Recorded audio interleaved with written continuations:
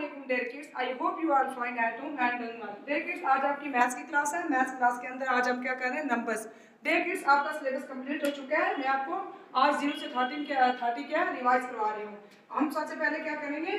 किससे स्टार्ट होती है काउंटिंग ज़ीरो से zero one two three four five six seven eight nine ten eleven twelve thirteen fourteen fifteen sixteen seventeen eighteen nineteen twenty twenty one twenty two twenty three twenty four twenty five twenty six twenty seven twenty eight twenty nine three zero thirty देखिस आपने क्या करना है? अपनी notebook पे zero से लेकर thirty तक काउंटिंग लिखनी है और मुझे अपना होमवर्क टाइम से सेंड करना है। आज के लिए इतना। ओके अल्लाह हाफिज़।